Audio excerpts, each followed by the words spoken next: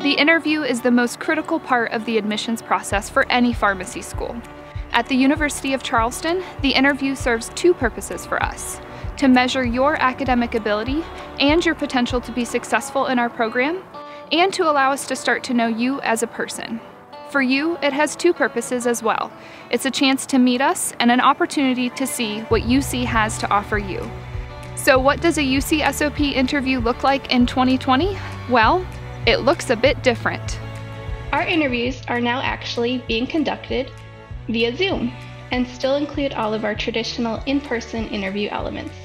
You can look forward to some exciting experiences.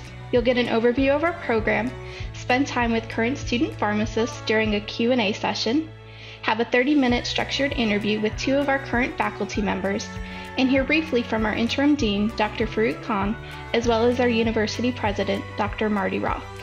After your interview, our admissions committee will take all of the information from your completed application and interview and come to an admissions decision. We know this is a significant moment in your life, so it won't be long before you hear from us. An admissions decision is usually shared with you within one to two weeks. Remember, these interviews are conversational, and there are no right or wrong answers. Your private information isn't disclosed to our interview team. They are not aware of your GPA or your possible PCAT score. We want to get to know you, the person.